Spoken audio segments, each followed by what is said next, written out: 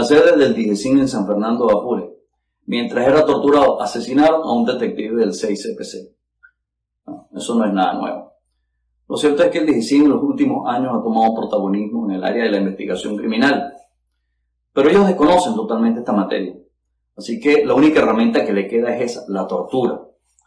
Por otro lado, ¿verdad? Este, las comisiones que tenían que apersonarse al sitio, a cumplir con su labor, con los protocolos propios de este tipo de hechos, la, protección del sitio de suceso, el médico forense, etcétera, etcétera, a ninguno se les permitió hacer, cumplir con su trabajo. Inclusive, el director del 6CPC ordenó que se retiraran las comisiones del sitio. Pues bien, lo primero que yo diría es, bien pendejo los policías que se siguen calando esa, siguen calando esa bota militar. Y por otro lado, también le digo al personal subalterno, esto para que les quede claro que tienen ustedes, jefe.